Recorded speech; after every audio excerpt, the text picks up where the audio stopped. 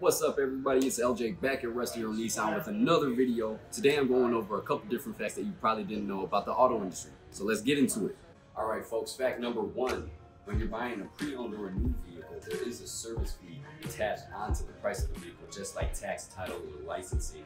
That's for documentation purposes, also for preparing the paperwork, filing, using the services of the dealership, all included. So that's fact number one. Fact number two about the auto industry. When you're in sales, there's a lot of other extra legwork that you have to go through to make a sale, including phone calls. You make plenty and plenty of phone calls.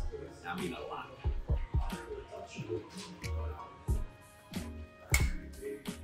LJ, let's get Nissan. Fact number three, when you're financing a vehicle, whether it's new or used, you actually use a lot of the same banks that you probably use every day now just for your credit card or financing, just like Capital One, Chase, Wells Fargo, etc. We use a lot of them. All right, last and final fact number four, how do we get the cars in the showroom? Let me show you. We've got double wide doors that we open just like this. Ah! You ever had one of these?